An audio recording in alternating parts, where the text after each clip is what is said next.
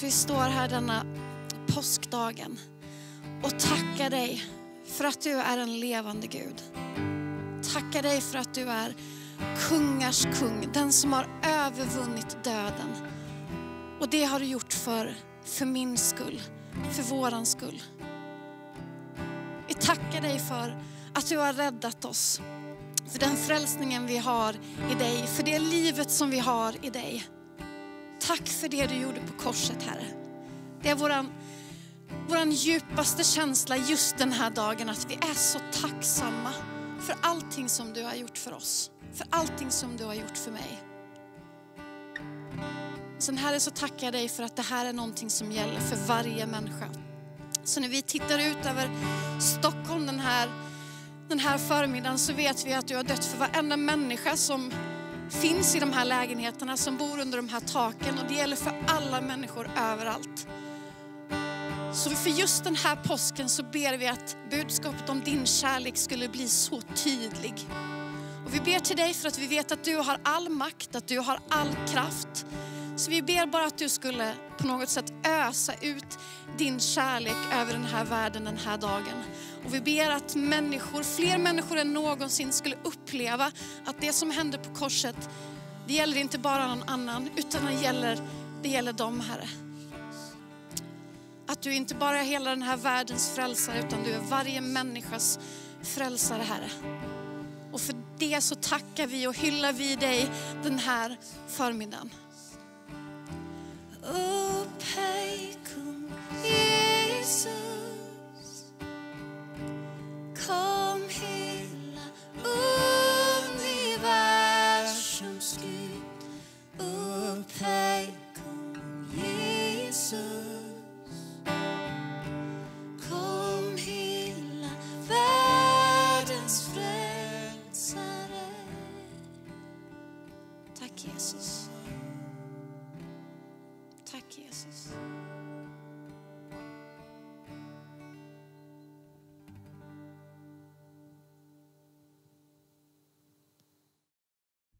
Påskdagen är här. Välkommen att fira gudstjänst med oss i Philadelphia. Vi har precis upphöjt kung Jesus på taket över hela den här stan. Och nu ska du få vara med och fira Jesu uppståndelse. Över hela vår värld idag så firas det gudstjänster där man tillsammans proklamerar att Jesus är uppstånden. Ja, han är verkligen uppstånden. Och det kommer vi göra här idag. Idag är en glädjens dag. Söndagen är den tredje dagen och det är den dagen som Jesus uppstår. Påskens hela mitt, det firar vi idag. Du är just nu i, i vår kyrksal i vår nyrenoverade kyrka på Rörstrandsgatan. Den har också återuppstått kan man säga, den här lokalen. Och nu är den färdig i princip. Och snart, snart, snart ska vi få fira gudstjänst tillsammans här inne. Vi längtar efter att få lyfta våra händer tillsammans med dig, att få lyssna till förkunnelse, få vara i det här rummet. Men just nu får vi fira på det här sättet istället. Men vet du vad som kommer hända här närmsta tiden? Det kommer inte att vara gudstjänst, men vi kommer göra om den här platsen till en vaccinationscentral och tusentals stockholmare kommer passera genom Philadelphia-kyrkan för att bli immuna mot covid. Och de goda nyheterna är att idag kommer vi berätta för dig att det finns en annan immunitet som du kan få ta emot. Och den är inte mot en pandemi eller mot ett corona eller en influensa, utan du kan få bli immun mot syndens verkningar i ditt liv. Jesus Kristus dör och uppstår för det faktumet och det firar vi idag. Ibland tänker jag på påsken som, eh, som en centralstation. Du vet, där alla tåg och alla tunnelbanor och bussar löper samman. Det finns en knytpunkt för allting. Och för mig så är mitt livs centralstation, mitt livs knytpunkt, det är Jesus Kristus och det som han gör på påsken. Det är på påsken som han dör och han uppstår och vinner seger över döden. Detta är någonting stort och detta är någonting som du kan få ta emot av idag. Det är också till den Jesus som vi nu ska be till tillsammans. Det är till Jesus Kristus som har vunnit över döden, som är ljuset i mörkret, kraften i svagheten, som är med dig i alla livets lägen, som vi ber till. Vi ber inte till en Gud som är död, utan till en Gud som lever. Han är uppstånden. Så när vi nu ber, så ber vi med förvissning och förväntan på att Jesus Kristus faktiskt kan gripa in i ditt liv. Det kommer upp lite bönämnen här. Hugg gärna tag i ett av dem och be lite extra för det. Kanske något du ska bära med dig under dagarna som kommer. Men nu, nu ber vi tillsammans. Jesus Kristus. Vi tackar dig och prisar dig för det du gjorde på Golgata kors för 2000 år sedan. Tack att du genom din död och din uppståndelse öppnade vägen till livet för hela skapelsen och för alla människor. Tack att det inte finns en enda människa som inte din famn är öppen för. Det finns ingen som inte du älskar, utan du är ständigt, ständigt på jakt efter oss. Och nu ber vi till dig, för vi vet att du kan gripa in, Herre. Herre, vi ber för kvinnan med cancer som hört av sig till oss. Vi ber för de som sliter med hälsan, Jesus Kristus. Herre, jag vill be speciellt för den här unge mannen som har självmordstankar. Gud, att du ville gripa in och vända mörker till ljus, Herre. Tack att du ville bara rensa upp i det, det, det liksom snåriga inre i hans själ och komma med ditt ljus och med din kraft. Och vi ber därför att vi vet att du hör våran bön.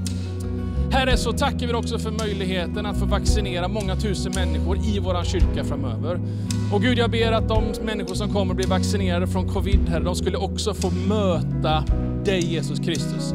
Att det är liksom vandringen genom den här lokalen där man får en spruta för att bli immun mot en sjukdom skulle få leda till att man fick faktiskt ta emot en injektion ifrån himmelen där man fick bli immun mot syndens verkan i ens liv och fick ta emot av din kärlek Jesus Kristus.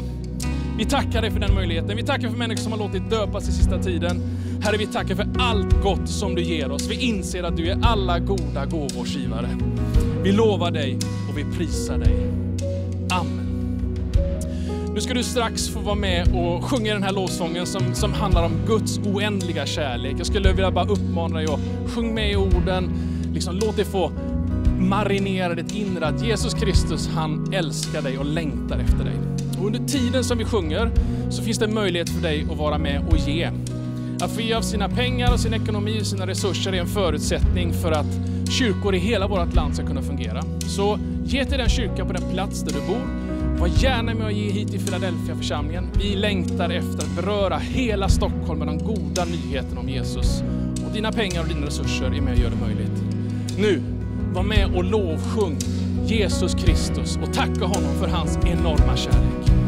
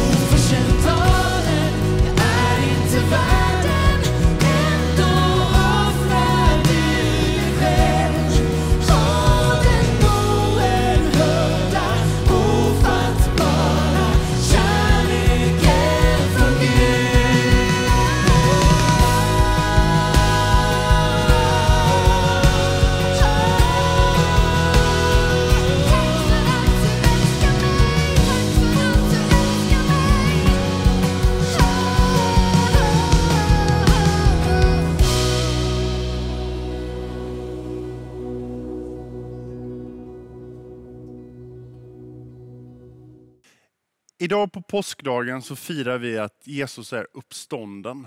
Och vi firar tillsammans med kyrkor över hela världen. Med våra systrar och bröder i Burundi, med våra systerkyrkor i Brasilien och Egypten. Och med våra grannkyrkor i eh, Oslo, Helsingfors och Köpenhamn. För när stenen rullas bort efter tre dagar och graven är tom, så är det den största game changern i hela mänsklighetens historia. Oavsett om du tror på det eller inte så, så förändras förutsättningarna för hela vår existens där och då. För när Jesus dör och uppstår, då får allt det som var på väg att gå förlorat en andra chans. Och från den här dagen så kan alla människor få ett nytt och ett bättre liv. Vi har en sak av värde hemma hos oss. En enda sak. Och då är det inte ens värt särskilt mycket i pengar. Men allt annat skulle kunna brinna upp imorgon och vi skulle inte bry oss. Förutom den här enda saken. Och det är den här. Den här Kristusstatyn. Visst är den fin? Eh, min fru hon fick den för länge sedan och var vi än har bott så har vi haft med oss den här. Och den har fått den bästa platsen i vårt hem. Och eh, ofta har Erika suttit i flyttbilen och så har hon lindat in Jesus i någon gammal filt.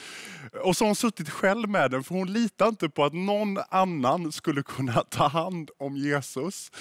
Och ibland så har jag hört, mitt ibland flyttkartongen så hör man någon sån här panikslagen röst bara Akta Jesus!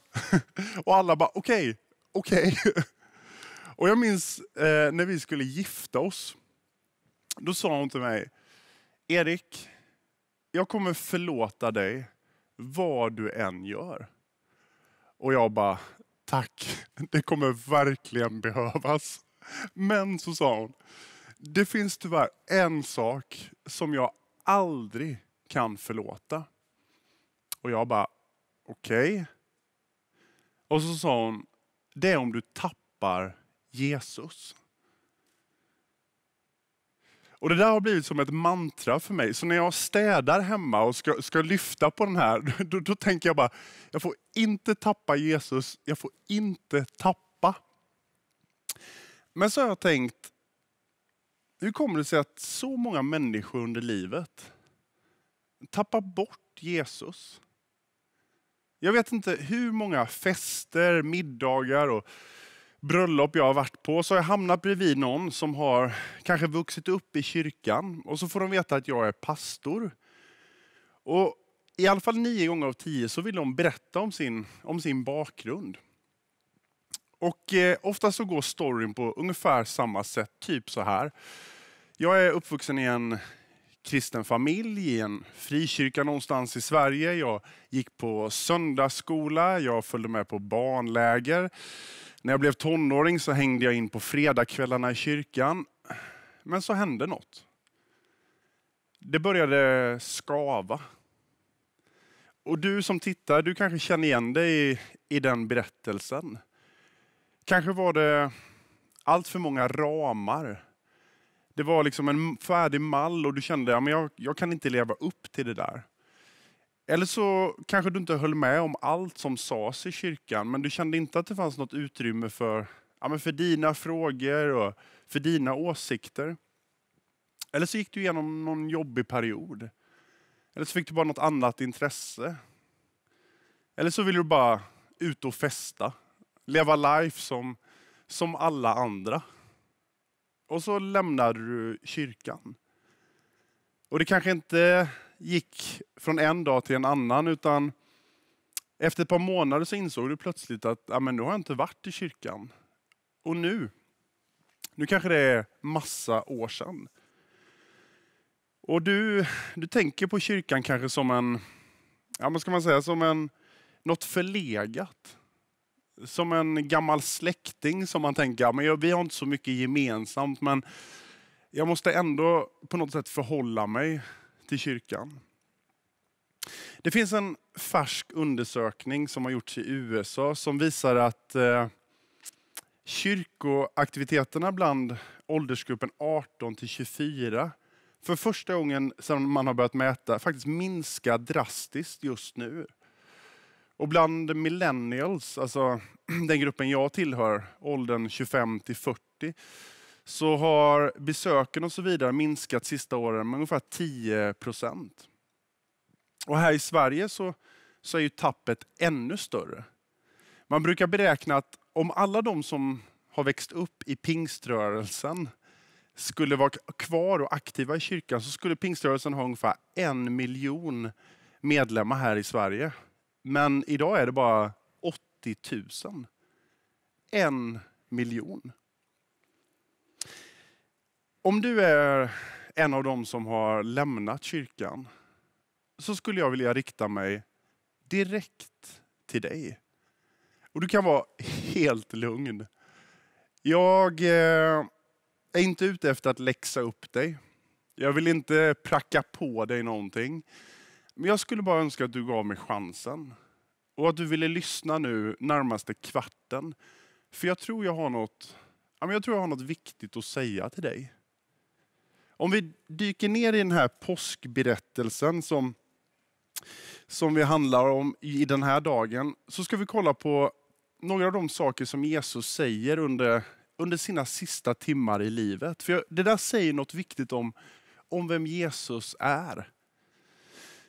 Forskarna tror att Jesus var vid liv typ mellan tre till sex timmar från det att han hängdes upp på korset innan han till slut ger upp andan. Och det där är ju en fruktansvärt lång och plågsam död. Och vid den där lilla folksamlingen som samlas vid korset så står ju hans mamma Maria och så är lärjungen Johannes där som har följt Jesus hela vägen till Golgata. Och de är ju naturligtvis väldigt ledsna. Och de är naturligtvis väldigt bedrövade över att få se Jesus torteras på, på det här sättet.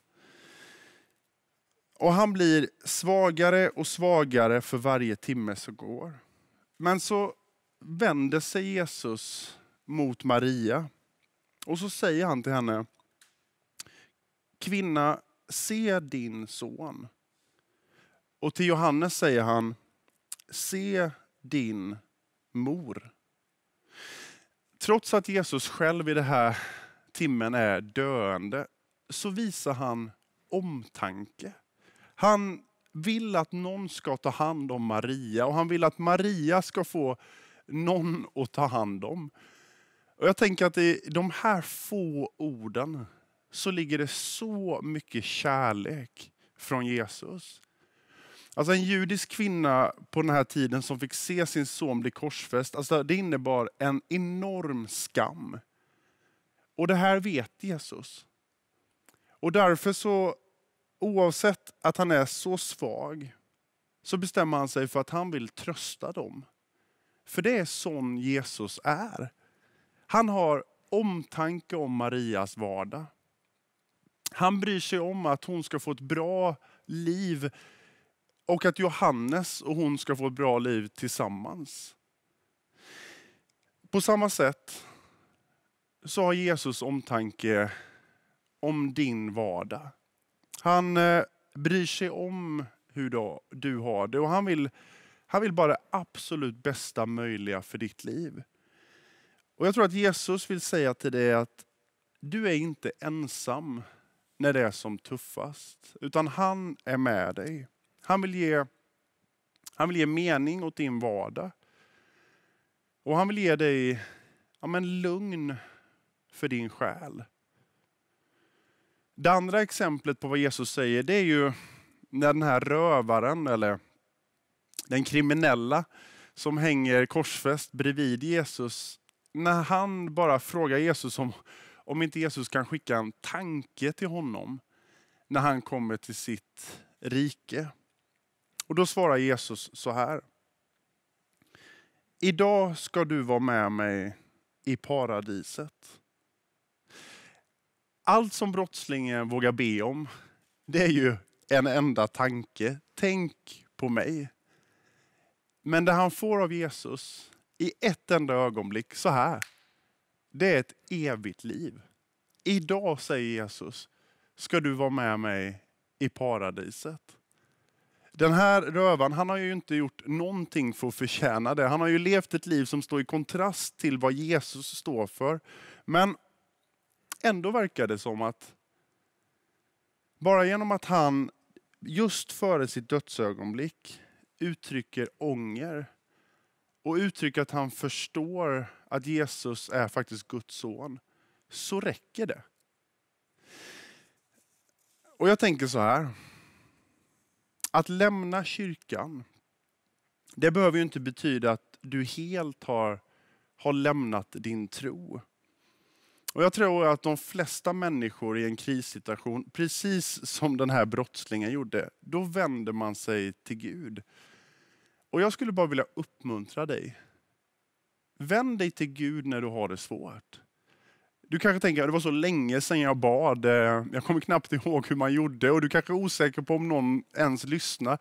Ja, men använd den här rövarens bön. Du kan bara be, tänk på mig Jesus.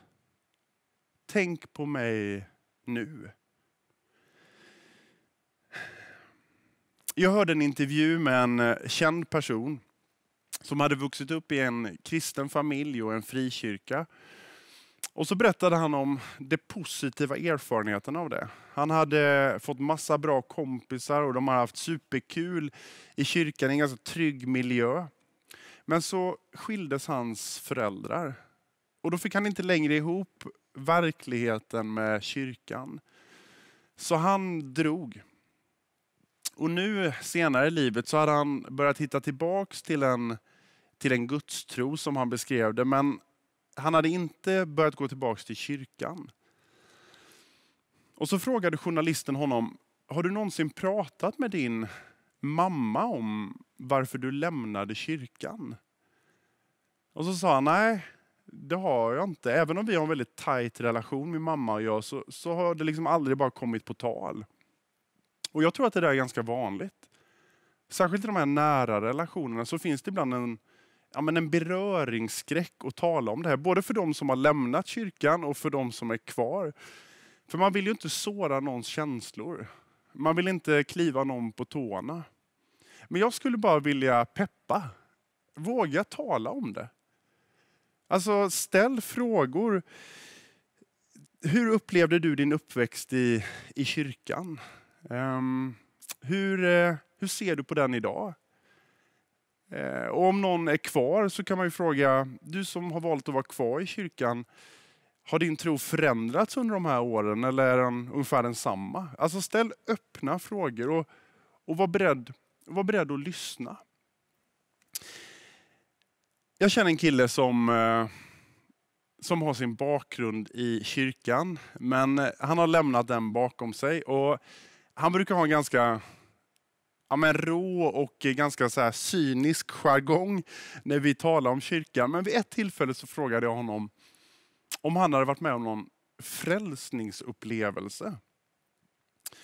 Och Då berättade han att hans föräldrar de var ateister. Men eh, han blev medbjuden till kyrkan av en kompis. Och vid ett tillfälle i kyrkan så kände han hur, hur det blev helt varmt kring hans hjärta. Och hur den här värmen spred sig rakt ut i hela kroppen när hans kompis bad för honom. Och Han kände det som att han i den stunden var helt och fullt accepterad. Och så sa han till mig att jag glömmer aldrig det. Det är det finaste som jag någonsin har varit med om. Och även om han hade lämnat kyrkan bakom sig så kan han inte skaka av sig eller glömma den här upplevelsen. Om du kan känna igen dig i det, att du någon gång har känt närvaron av Jesus. Tappa inte bort det. Tappa inte bort Jesus och håll fast vid honom. Livet det är för kort för att sakna sakna det syftet och den riktningen i livet som, som han vill ge. Och lyssna nu. Du kan avfärda hela pingströrelsen, eller vilket sammanhang du än har vuxit upp i. Det är helt okej. Okay. Vi i kyrkan vi är, vi är bara ett gäng som försöker stå för det som Jesus står för. Men vi är människor. Vi failar ibland, så är det bara. Men avfärda inte Jesus. Han hade ett enda mission här på jorden. Och det var att erbjuda alla människor ett bättre liv. Och så är det fortfarande. Han vill dig bara väl. Och jag är ganska säker på att han, han tänker alltid på dig.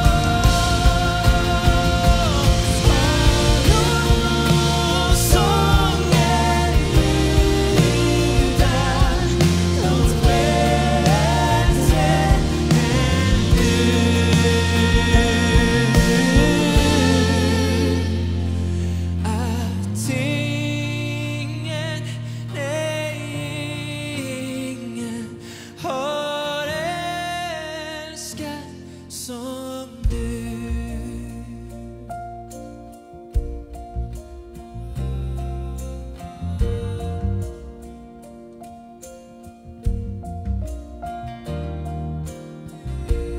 Jag har två, jag har, jag har två stycken barn hemma. Bägge två är i unga, en i tonåren och en i tioårsåldern.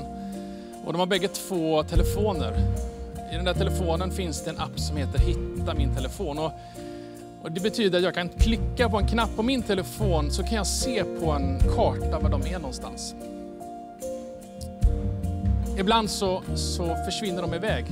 Framförallt min 17-åring, man vet inte riktigt var hon är någonstans.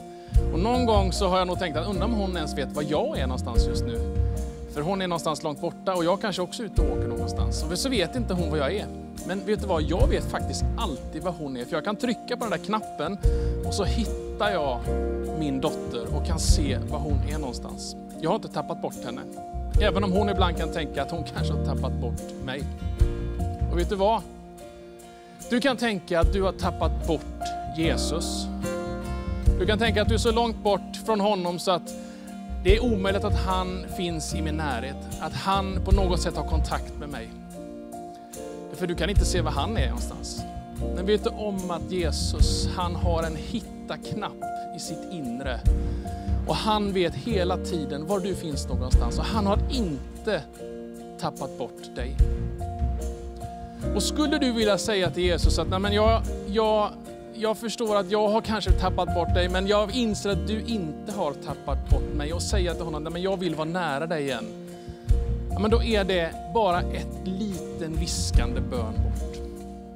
Du behöver inte ha långa komplicerade fraser, stora ord. Det enda du behöver be är kanske precis som rövaren bad på korset. Tänk på mig. Jesus, tänk på mig.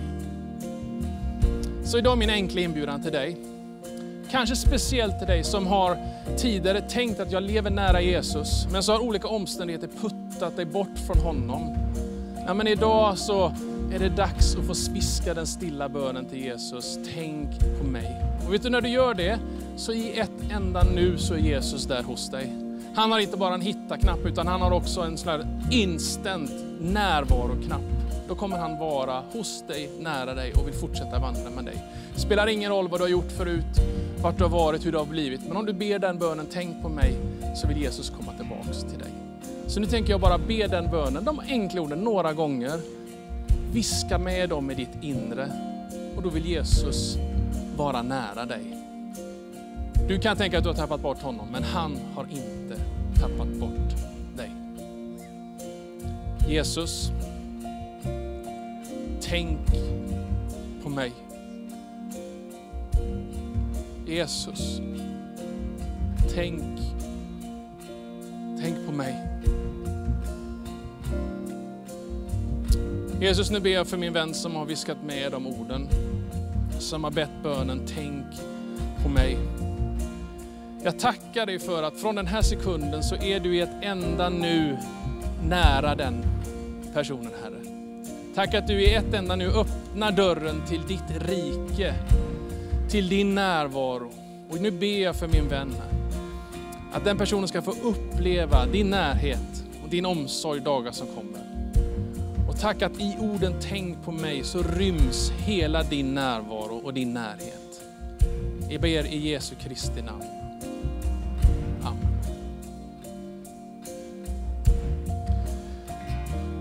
Oavsett vad du kände om du var med i den här bönen så är jag övertygad om att Jesus Kristus är nu med dig. Och kanske du har bett i den här bönen eller någon annan bön som liknar den de senaste veckorna. Vi vill gärna hjälpa dig vidare på din resa i tron. Gå in på jatilljesus.se så finns all information du behöver där för att komma vidare och vi vill gärna ha kontakt med dig. Nu går vår gudstjänst mot, mot sitt slut och jag ska strax be om Guds välsignelse över dig. Men innan vi gör det så vill jag påminna dig som har ditt andliga hem i Philadelphia. Fortsätt att vara en bro till tro. Be för människor i din närhet, fördjupa dina relationer och när tillfälle ges tala ord av hopp in i deras liv. Direkt efter gudstjänsten finns det digitalt kyrkkaffe och sen senare ikväll så har vi ungdomsgudstjänst här online. Missa inte den. Men ta nu emot av Guds välsignelse när du går in den här veckan. Herren välsigne dig och bevara dig. Herren låter sitt ansikte lysa över dig och vare dig nådig. Och Herren vänder sitt ansikte till dig och ger dig av sin oerhörda frid. I Faderns, Sonens och den helige Andes namn. Amen.